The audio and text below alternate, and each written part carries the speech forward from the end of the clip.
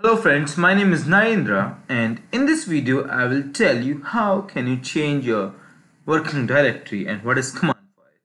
So command for that is cd space path name. Okay, so like right now this is our present working directory and how can we check our present working directory with the help of pwd we can check what is our present working directory. So i'm hitting enter. As soon as i will hit enter i'm able to find out that my present working directory is c users pm 2020 documents and i want to change this directory into e.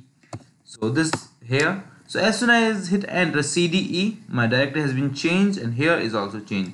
Suppose again i want to go in c directory then I can do this cd space c colon slash and you can see this. Now as soon as I will hit enter the path will change here now my current working directory has been changed for Unix and Mac user we can go with the help section help cd and we can see this is providing you change directory and for Windows we need the forward slash and for the Mac we need backslash this is the help menu of stata for cd command so in this video we learned two, two commands. One is pwd, present working directory, another one is cd, current directory.